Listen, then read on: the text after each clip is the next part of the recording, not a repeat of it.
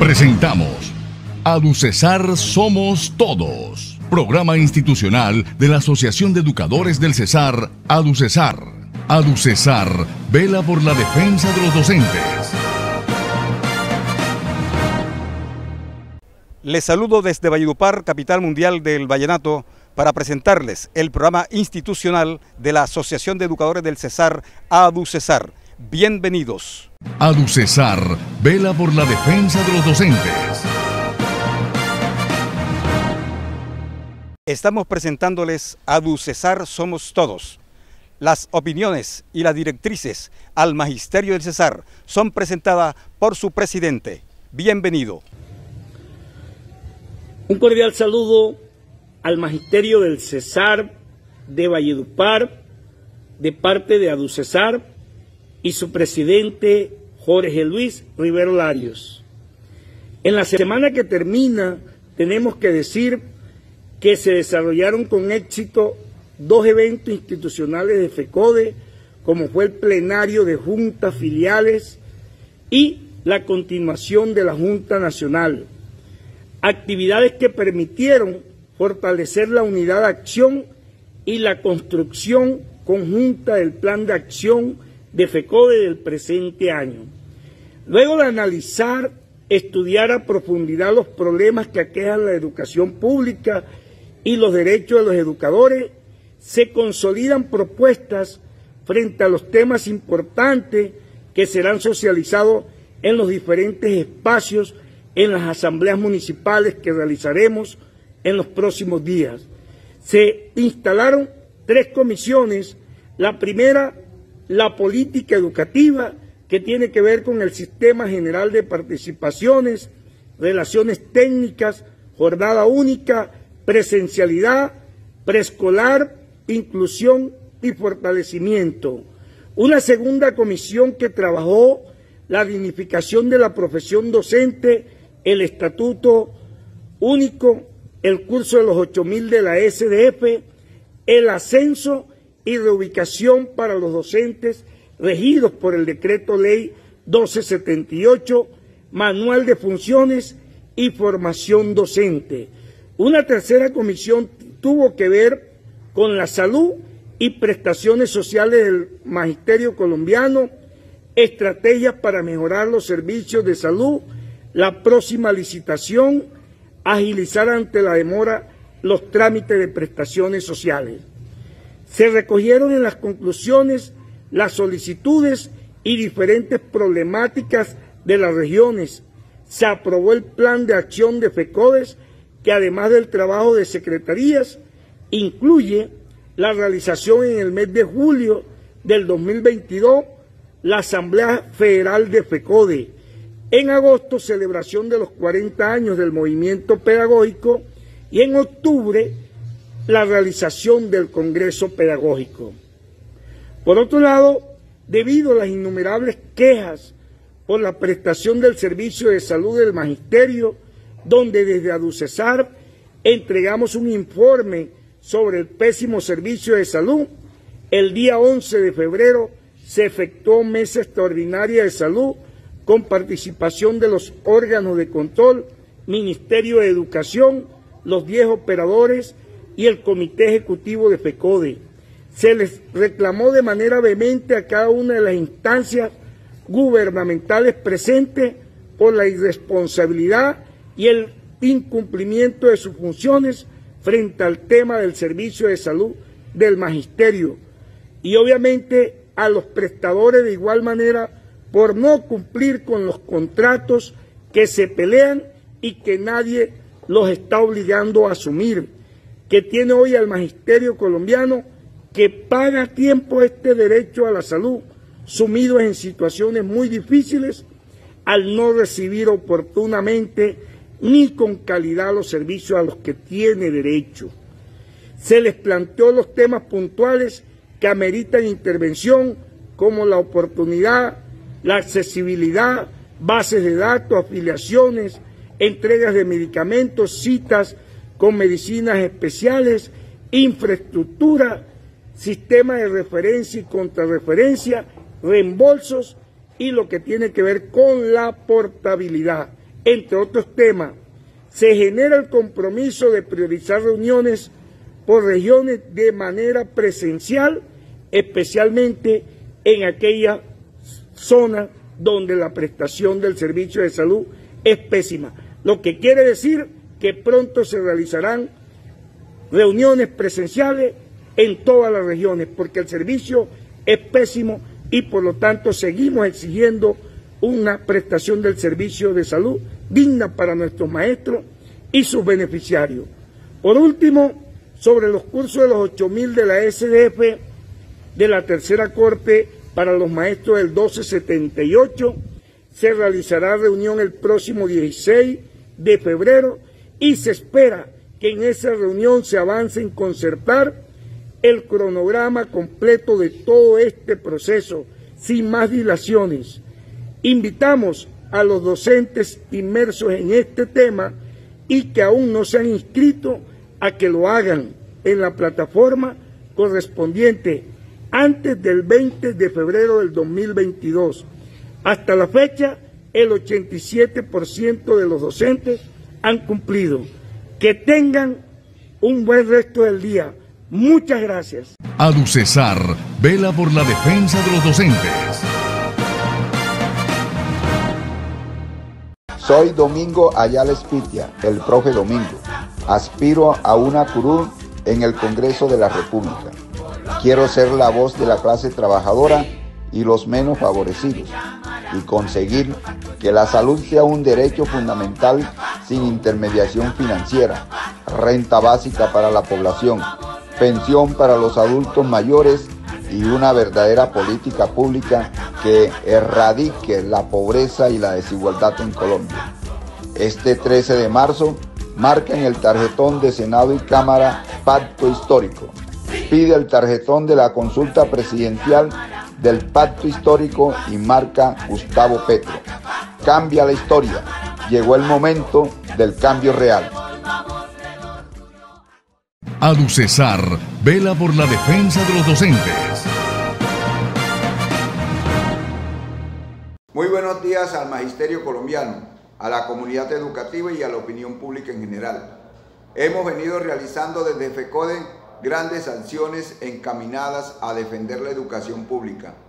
Realizamos un evento importante con, todas las filiales de FECODE, con los directivos, en lo que se denomina un plenario de juntas directivas eh, filiales de FECODE. Allí debatimos aspectos importantes que tienen que ver con la vida sindical, social y política del país.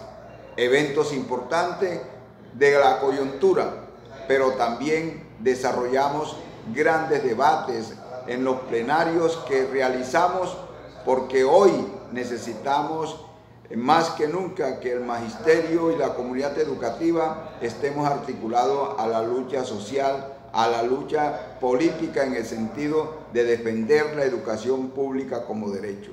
Estos aspectos son importantes y las conclusiones que sacó este evento que terminan en una Junta Nacional, pero recogiendo el debate en el plenario, son muy importantes. Enmarcan la defensa del derecho que tenemos los maestros y maestras y que están consagrados en, en, lo que tiene que ver con el pliego que se negoció y que hoy estamos exigiendo que el gobierno cumpla totalmente lo pactado el día 6 de agosto del 2021. Esta lucha la vamos a liderar. Necesitamos que incluso el retorno que se ha planteado a, las escuelas y colegios se haga con todos los elementos de bioseguridad. El magisterio no está eh, eh, en contra de la presencialidad, es nuestra razón de ser, pero lo que sí estamos diciendo es que los establecimientos educativos en sus diferentes sedes se debe cumplir con lo que incluso se pactó, los elementos de bioseguridad y lo que tiene que ver con algunos aspectos de infraestructura. Vamos a desarrollar esta ardua lucha. Recordemos que los maestros jugamos un papel importante en la defensa de la educación pública. Generamos grandes aspectos pedagógicos. Incluso hicimos de nuestras casas unos escenarios muy importantes de la escuela. Por ello es importante continuar en esta lucha, pero también le estamos diciendo al gobierno que nos cumpla unos decretos. Hay mucha resistencia del gobierno a, cumplir eh, lo acordado, pero con la acción de movilización vamos a hacer que se cumpla. El plan de acción que se aprobó para la vigencia 2022 es muy importante porque articula no simplemente lo que tiene que ver con nuestra responsabilidad como docente, sino la trascendencia en la lucha que indiscutiblemente nos toca liderar en esta coyuntura. Por ello, en lo que tiene que ver con estos aspectos, hemos venido expresando que se concrete lo del nuevo estatuto docente que reivindique y dignifique la profesión docente. Aquí no podemos seguir en esta situación del gobierno de dilatar la concreción de ese nuevo estatuto docente. Vamos a asumir ese gran reto, pero también la financiación de la educación. Recordemos que hay el compromiso de una reforma constitucional al sistema general de participaciones para resolver esta crisis que hoy tenemos en lo que tiene que ver con la educación, la salud, el saneamiento básico y el agua potable. Vamos a desarrollar acciones no simplemente desde FECODE, sino desde la ciudadanía, los alcaldes, los concejales, diputados, congresistas, para que de verdad esa reforma constitucional que hoy genera un déficit inminente, por ejemplo, el déficit para la vigencia del 2022 de alrededor de 3 billones de pesos. Si aquí no hacemos la reforma constitucional, va a llegar el momento en que incluso no hay recursos para pagar los salarios y prestaciones de los maestros y maestras. Por eso es importante. Pero está el sector de salud que está golpeado por esta situación de crisis de la pandemia. Está la situación del saneamiento básico, el agua potable, en fin. Esta es una reforma constitucional que eh, le compete al pueblo y como tal el pueblo hoy está pidiendo los recursos necesarios para esos cuatro pilares que generan lo que es un Estado social de derecho en Colombia. La salud, la educación, el saneamiento básico y el agua potable. Pero también estamos exigiendo del gobierno cumpla una gran responsabilidad más allá de nosotros, que es el desarrollo de la democracia. Es una reforma constitucional que eh, le compete al pueblo y como tal el pueblo hoy está pidiendo los recursos necesarios para esos cuatro pilares que generan lo que es un Estado social de derecho en Colombia. La salud, la educación, el saneamiento básico y el agua potable. Pero también estamos exigiendo del gobierno cumpla una gran responsabilidad más allá de nosotros, que es el desarrollo de la democracia. Que aquí tengamos posibilidades todas y todos de construir un país del tamaño de nuestros sueños. No se les olvide el reto que tenemos. Vamos a hacer de Colombia un gran escenario entre todas y todos a nivel de la conciencia de cada uno de nosotros de poder transformar este país, de eliminar la pobreza, la miseria, porque recuerden que la pobreza no es natural. La pobreza es social y la desarrolla un modelo sustentado en unas leyes que excluyen, que todo lo vuelven negocio. Y eso es lo que vamos a hacer en el Congreso de la República. Se impulsarán leyes importantes.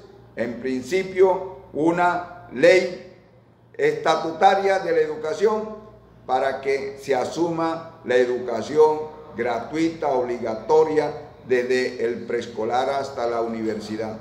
Pero no vamos a quedar simplemente en la parte educativa, sino que vamos a desarrollar con el pueblo colombiano una ley que genere de verdad la salud como derecho, que los hospitales, que las la, clínicas, los puestos de salud puedan asumir este papel importante donde se citan los médicos en los hospitales, la red pública hospitalaria.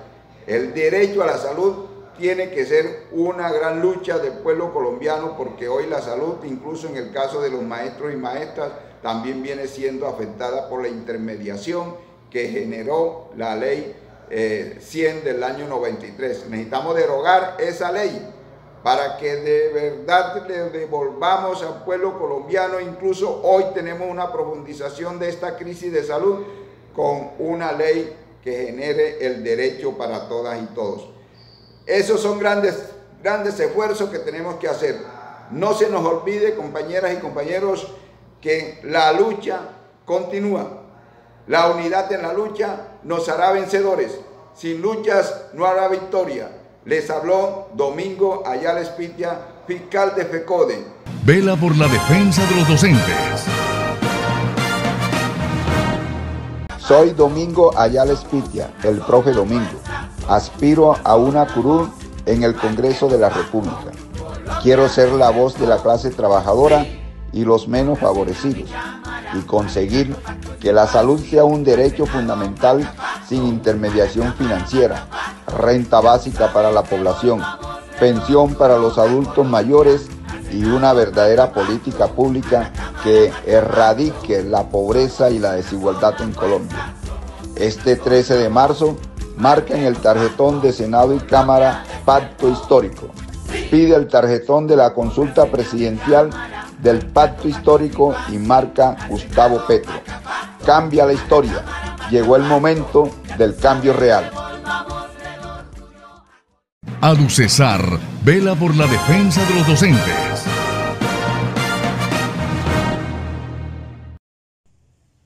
Un saludo fraterno a toda la comunidad del departamento del Cesar, especialmente a los trabajadores y trabajadoras de este departamento. La Central Unitaria de Trabajadores eh, viene desarrollando una serie de actividades. Por supuesto, se dio la Junta Nacional en donde eh, se plantearon aspectos fundamentales a desarrollar durante el 2022 y donde se trazan los lineamientos a desarrollar durante este periodo.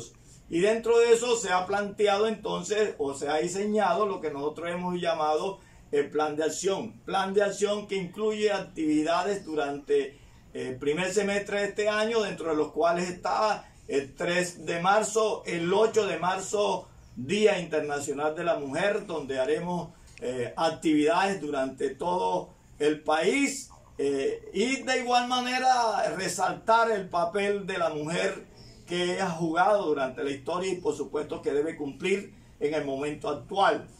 Eh, también hemos planteado unas jornadas el 28 de abril en donde se conmemora el primer año de la gran manifestación del paro nacional desarrollado el año pasado y que hoy eh, debe tener sus efectos ya no en las calles sino en las urnas. Y de igual manera se plantea unas grandes movilizaciones para el día primero de mayo para la conmemoración del Día del Trabajo. Y en ese sentido entonces eh, además de estos aspectos, se ha planteado la participación de lleno en cada una de las actividades a desarrollar para impulsar y llevar a cabo eh, jornadas que permitan eh, llevar, participar en el, 13 de marzo en, la, en lo que debe representar un cambio en el Congreso de la República para cambiar la correlación de lo que hoy se está dando en este Congreso y tener un Congreso con mayor dignidad de igual manera, impulsar las candidaturas eh, alternativas y, por supuesto, impulsar la candidatura a la presidencia eh, del país. De, otro lado, eh, también hemos participado en la Junta Nacional y en, en, la Asamblea de Juntas que desarrolló la, la Federación, en donde también se ha planteado el impulso de estas candidaturas y además de eso el, respeto a la federación y, por supuesto defender lo que hoy hemos dicho. Aducesar vela por la defensa de los docentes. Soy Domingo Ayala Espitia, el profe Domingo. Aspiro a una curul en el Congreso de la República. Quiero ser la voz de la clase trabajadora y los menos favorecidos y conseguir que la salud sea un derecho fundamental sin intermediación financiera, renta básica para la población, pensión para los adultos mayores y una verdadera política pública que erradique la pobreza y la desigualdad en Colombia. Este 13 de marzo marca en el tarjetón de Senado y Cámara Pacto Histórico. Pide el tarjetón de la consulta presidencial del Pacto Histórico y marca Gustavo Petro. Cambia la historia. Llegó el momento del cambio real. Aducesar vela por la defensa de los docentes.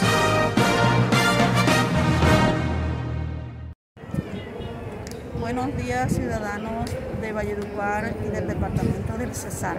Les habla María Yamila Brito de Armas, delegada de Aducesar y hoy estoy aquí para comunicarles que en la institución educativa técnica La Esperanza se está dando un gran movimiento, un gran movimiento por el reclamo de nuestros derechos, por, por nuestra dignidad, por la dignidad de los estudiantes, por la dignidad y el respeto a los padres de familia que tienen sus hijos matriculados en esta institución. Hoy tenemos una problemática de aseo muy profunda. Solamente una aseadora para más de mil estudiantes, un colegio con dos sedes. No es posible que esto suceda eh, en un ente territorial que dice que está respondiendo por todas las necesidades que tienen las instituciones educativas. Adicional a ese problema de aseo, donde estamos dando clase en medio de la basura, se unen otras problemáticas como la planta física que está totalmente deteriorada. A esto le estamos haciendo un llamado al gobierno local y al gobierno central para que se acerquen a las instituciones educativas, no solamente a esta, a todas las instituciones educativas, sobre todo las instituciones educativas periféricas, para que analicemos la problemática que se está viviendo y se le busquen prontas soluciones, porque aquí el estudiante necesita su educación, necesita estar en las aulas de clase y no podría estarlo en unas condiciones de integridad. Eso es lo que le queremos decir a todos y a los profesores, a los docentes de todo el departamento y de Colombia, decirle que debemos estar en pie de alerta, así nos digan que nosotros no nos gusta trabajar, pero siempre estamos reclamando por el bienestar de la comunidad educativa. Un saludo a todos y a todas, que Dios los bendiga.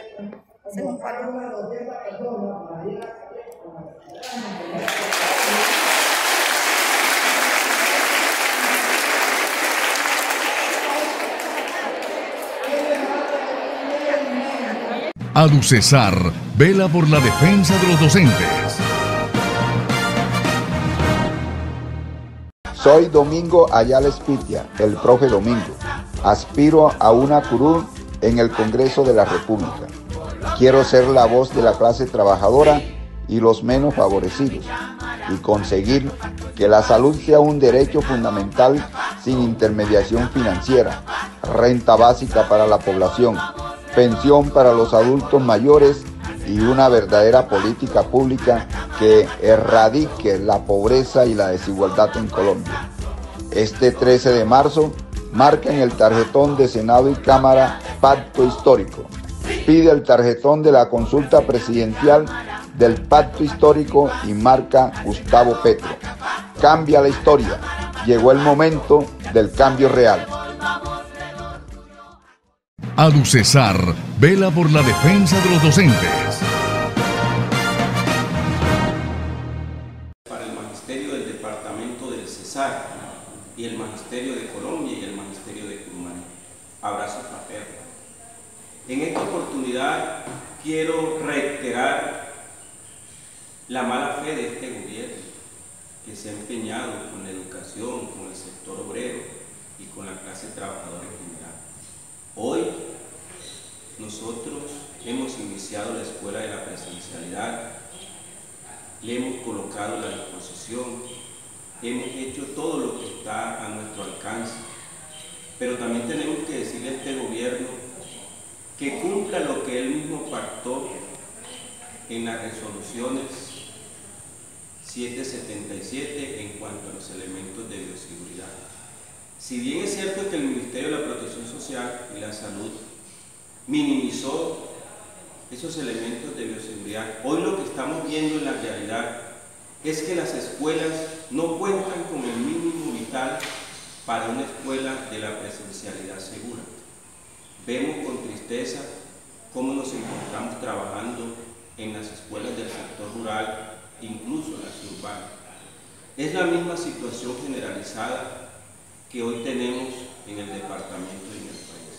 Escuelas totalmente abandonadas, pero le asombra a uno que hoy la ministra sale diciendo que la presencialidad se ha desarrollado 100%, cuando inicio del año lectivo en las instituciones del sector rural no contamos con el transporte escolar, no encontramos con la alimentación escolar, no hay material para el aseo, no hay servicio de vigilancia. Entonces uno se pregunta, ¿será que el magisterio tiene culpa de eso? ¿Será que FECODE tiene culpa? Hoy la responsabilidad es compartida. Hoy el Estado tiene que jugarle limpio a la comunidad educativa. Hoy los estudiantes piden que el gobierno cumpla lo mínimo para la escuela de la bioseguridad. Hoy entendemos también la situación de pandemia. Sin embargo, nosotros hemos decidido volver a las aulas, porque ese es nuestro nicho de existencia. También queremos recordar a este gobierno que a pesar de los inmensos esfuerzos que hizo la Federación Colombiana, se han podido, han podido cumplir algunas cosas, pero no es todo. Hoy exigimos que cese esa estigmatización a quienes nos atrevemos a pensar diferente. Hoy entendemos y somos de los convencidos que este país tiene que cambiar, tiene que cambiar su... Aducesar vela por la defensa de los docentes. Hemos llegado al final de Aducesar Somos Todos, programa institucional de la Asociación de Educadores del Cesar, Aducesar. Gracias por su atención. Presentamos Aducesar Somos Todos, programa institucional de la Asociación de Educadores del Cesar, Aducesar. Aducesar vela por la defensa de los docentes.